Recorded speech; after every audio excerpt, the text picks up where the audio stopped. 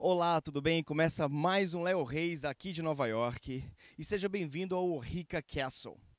Hoje eu vou te levar para um evento seis estrelas da Academia Americana de Ciências da Hospitalidade. Nesse evento, eu entrevistei várias personalidades, artistas e autoridades. Dentre elas, o Dr. Perricone, ele que desenvolveu uma água de hidrogênio que em breve estará em todo o Brasil. Falei também com um artista chinês com pinturas fantásticas, um ator mexicano que está vindo aí com um filme sobre tráfico de crianças e também com o diretor geral do aeroporto JFK aqui de Nova York. Vamos pro evento? Let's go!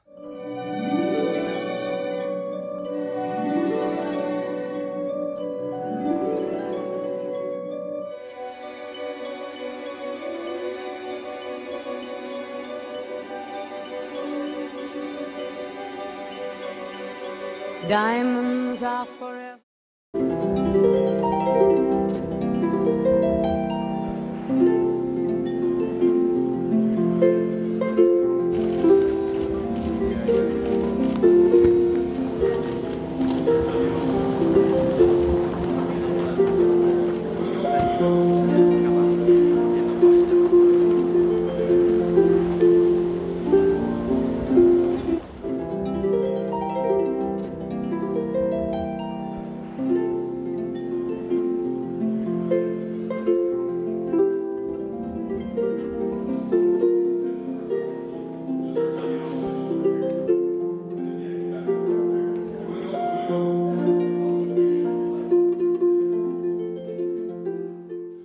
Agora eu estou aqui no jardim do Rica Castle. Aqui me aprontando, aqui me aquecendo para ir lá agora para receber as celebridades que vão chegar, enfim, os organizadores e as pessoas que vão participar desse evento. Let's go! Look, Joe, look, I talked I talked to Mr. Paragon. He was telling me about the water. Yeah, that, oh, the hydrogen water is going to blow everybody away. It's the greatest miracle water. It's saving people's lives. Joe, everybody's impressed. How can you get so many VIP together in this beautiful Just do castle? the right thing in life. Be kind and humble and congenial to everyone. And just say the best, the truth. That's all that matters. Joe Cinque. Thank you, Joe. Thank you. They are all I need to please me. They can stimulate. and Now we're here with Dr. Nicholas Perricone. Nice meeting you, Doctor. Nice to be here with you. I know that, you know, Doctor, he, he very, very, very famous in Brazil. I know that you've done some work in Brazil, right? Can you tell us a little bit about it? Yes, certainly. Um, Brazil, of course, has um, been uh, a very important place for me. Um, one of the things I wanted to do was work with the uh, Brazilian children uh, who, of course, uh, live in somewhat poverty, but uh, wanted to uh, break that cycle by um, help uh, build a school outside of São Paulo. And um, the children and the school has grown uh, to 240 something students. There's also a small clinic associated with the school. Uh, but in addition, um, the uh, books I've written have been very popular um, in Brazil. Uh, the very first one actually was, I think, on the bestseller list for almost, almost over a year. What was the name of the book again? That was The Wrinkle Cure. The Wrinkle Cure. Wrinkle Cure, Wrinkle, right here. Wrinkle Cure. Brazilian women are very beautiful and they like to maintain their beauty, so they take a big interest in the science because it's science based. Um, I do a lot of research in that area. And um, of course, uh, now we are working on a new project and it's called hydrogen water. Interesting thing, you know, hydrogen's a gas, and we always think of hydrogen going into big balloons, the dirigibles. Yeah. because it's the smallest molecule in the universe and it's very light, so it can make things lift if you put them in But Right. we found now that um, if we give it to, to people who are uh, want to stay well, if they want energy, or if they're sick, it has a lot of therapeutic capability. So the easiest way to give it, of course, is in water because it dissolves in the water like we dissolve sugar in a cup of tea.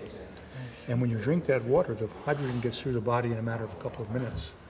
And it can get into the brain and give you more clear thinking, reduce inflammation. It's protective of heart disease. It tends to reverse uh, problems that could lead to diabetes. Wow. So we truly believe that if we can get the population and uh, drinking hydrogen water on a regular basis, we can decrease the healthcare costs significantly. And I want to get it to uh, Brazil because um, Brazilian people, of course, are very interested in, in, in their health. Uh, and um, pure water is, is important, but also if you have hydrogen infused water, uh, if you are an athlete, you can perform better, but if you're getting older, uh, it can be very, very protective of you. And uh, Tease me. They won't leave in the night. I've no fear that they. Well, now I'm here with Cao Jun. Well, so you're here today at Oheka Castle, right? This is the first time here at this beautiful place. Yes, uh, for me it's the first time, but uh, I hear about this area uh, so many times.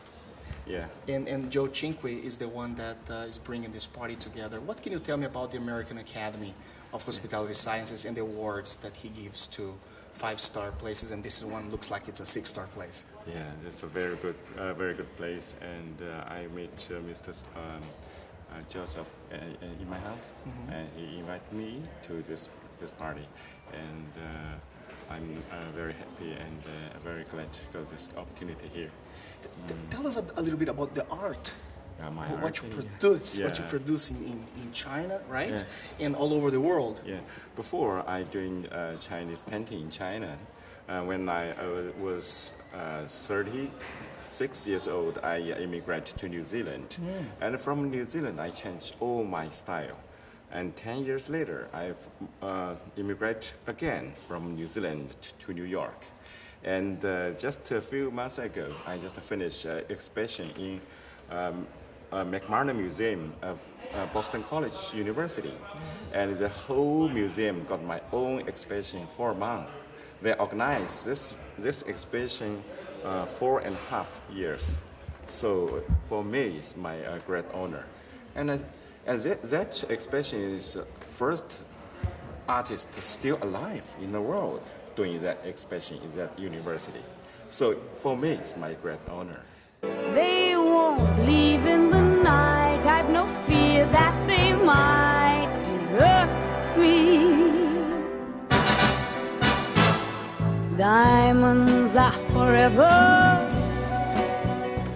Okay, now I'm here with Dave Schutzenhofer. Yep, That was it. good enough? Yep. All right, Dave. So tell me a little bit about the Trump National. Okay. Uh, Trump National Golf Club is located in uh, Bedminster, New Jersey. Um, it, it, we have about 500 members, and um, it's over 600 acres in central Jersey in the old farm country. Um, our club is uh, a private club, um, and it is uh, the club of Donald Trump. It is uh, the club where uh, the president comes and recreates. Um, he's been uh, the club for about 15 years now, and uh, so we've seen him um, go from being the host of The Apprentice to being uh, president of the United States. It's very exciting times. So does he still go there on his free time, or he, he, he kind of stay in this in the in DC more often? Um, well, he doesn't come out quite as much as he used to, but um, we still see him quite a bit. Um, it is the club where, in, uh, in here in the United States, in uh, the warm weather in the summer, um, it's the club where he comes and spends his recreational time. Okay, now we're here with the owner of this this place, this beautiful place that Brazilians are watching today. Gary, what can you tell me, Gary, about this castle? Eh, well, it was built in 1919. Hold one up and then caress it. Touch it, stroke it, and undress it. I can see every. Have you ever had any Brazilians getting married here? Yes, uh, Yara, Yara Cavalcante and uh, Philippe. They had a beautiful wedding here in September a few years ago. Two million dollars. It was a two million dollar wedding. And the nicest people. Yes. Really? Yes. You see, so Brazilians are always welcome, right, Gary? Yeah, especially I got a lot of money. So what are we doing now? Now, right now? Right now. We're going in to eat. Let's have some dinner, right? Right. Everybody's starving. That's more important than anything else right now. Food. Thank, thank you so much for the invitation. We No. love we love your place. Thank you, thank you, and I hope I came out okay here. You came out beautifully. thank you, sir. Not a great you. speaker. Bye. Thank you.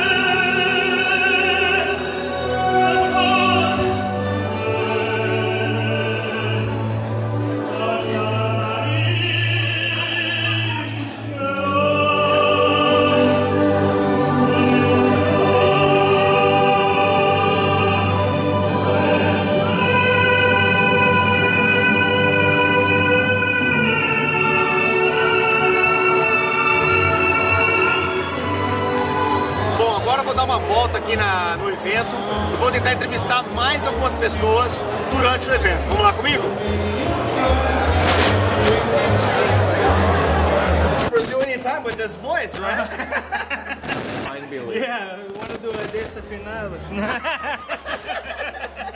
Have you ever been to Brazil? Not yet, but I'm really looking forward to coming down. How was it this event with the Star Diamond and the Blue Ocean and uh, the water? The This entire event and everything it represents is an absolute inspiration, truly.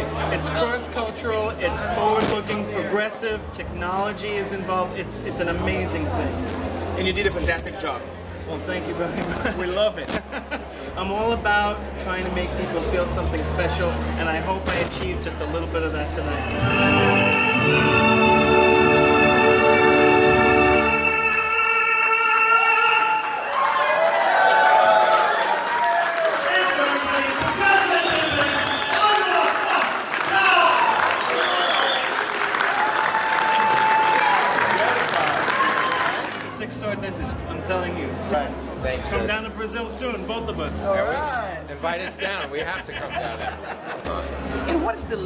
Thing that you can, can tell the Brazilian public and everybody at the Star Diamond that's watching you right now? Well, I'll tell you, there there are all different types of implants.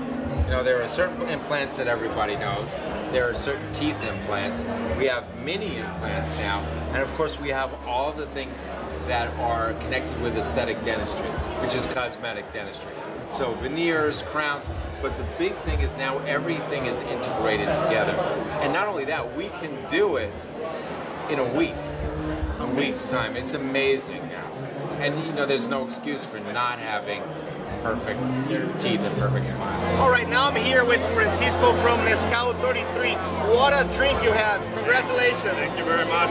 It's an honor to be in the most prestigious award on earth, and uh, Mezcal feels very proud. We start delivering the top premium drink for presidents only, for presidents of Mexico, and now we're starting growing worldwide. So it's an honor sharing with you, my Brazilian friends. Obrigado. So when is your drink going to land in Brazil?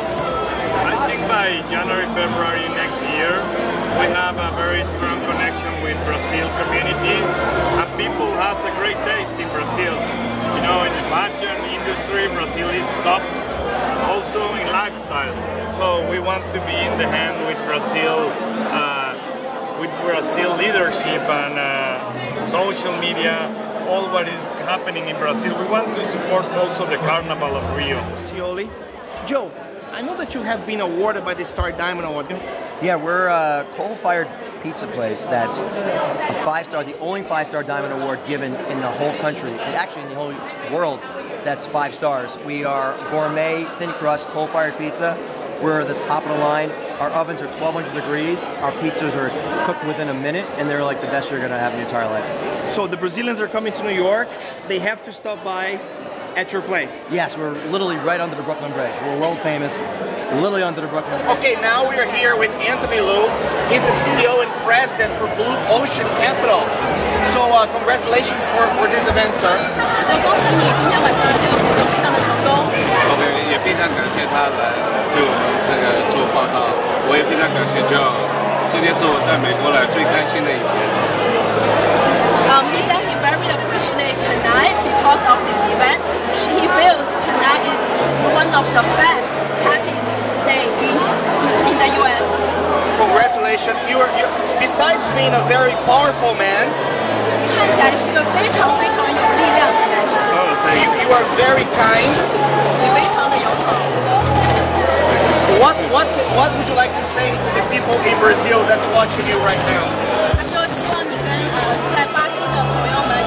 友人们，然后说一些话。哦，谢谢。呃，我非常感谢，我相信有机会我会去巴西去投资讨他项目。 He said he wants to have a, an oppor- opportunity to visit Brazil and to see if there's some business happen uh, or project going on in Brazil. Definitely. It was a pleasure talking to you, sir. Congratulations. 这很感谢。 What, what can you tell me about your, your, late, your latest work? Our latest work is called Sound of Freedom. Sound of Freedom. It's a true story about the life of Tim Ballard, an ex, uh, external agent uh, that he used to work for the U.S. government, and uh, he quit the government and he put together the best dream team ever of ex-Navy SEALs, ex-FBI agents, CIA agents, and they go undercover around the world to rescue children that are kidnapped for sexual exploitation. So now I'm here with Frank Russo, that plays a vital role at JFK. Can you explain to the Brazilian public and to everybody watching you, because we're on YouTube as well, uh, about your role at JFK? So as uh, the port director, I'm responsible for uh, oversight of uh, 1,700 uh, incredible employees who are dedicated to keeping the country safe. And uh, their job is to uh, keep terrorists and instruments of terror out of the country while facilitating legitimate travel and trade. What can you tell me about numbers that uh, visitors that New York receive a year? Last year we processed uh, 16.3 million passengers at JFK. Oh. It's the busiest international airport in the country. And every single passenger has to see at least one officer.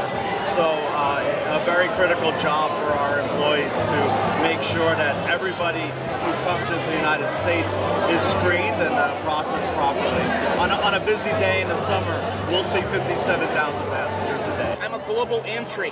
That system is fantastic. I mean, I mean, I take about a minute to scan my passport and retrieve a paper, show to the officer, get my luggage, and go home. Do you encourage people to use that system? Leo, it's so great that you mentioned it. it, it is uh, one of our best business transformation initiatives. As, as more and more people come into the country, we want to enroll more and more people in global entry because uh, our ability to find that needle in the haystack is much easier when we know that we have trusted travelers who are using the global entry program. Uh, the program is expanding and we're doing a great job with it, but we want more and more people in it. Well, I'm from Brazil and a lot of Brazilians visit New York and some of them are sent to the secondary. And they ask me, Leo, but why did I go to the secondary? I, all my paperwork are, are good. My passport is good. And I tell them it's not it's not something it's not personal. It's it's about the, the documentation. And I tell them now uh, uh, the United States is investigating every single thing, Instagram, Facebook, to see the real intention of these visitors. Can you say anything about this kind of uh, screening? Yes, Leo, and you're exactly right. They shouldn't be offended. It's it's it's not personal. Um, what they should know is that for the 16.3 million passengers that came into the United States, every single one of those exams is recorded in our system. And so for our officers, they know that if they process somebody who, for some reason, does something wrong, kills a cop, kills a civilian, or even worse, uh, attempts a, uh, you know, a terrorist attack on our country, we can track the officer who processed that passenger. And so our officers know that they have to be right 100% of the time. And so from time to time, they will send someone in for a referral just to double check. And that's what you're seeing. Tell me, New York is a permanent target. Do you follow with this with this conclusion?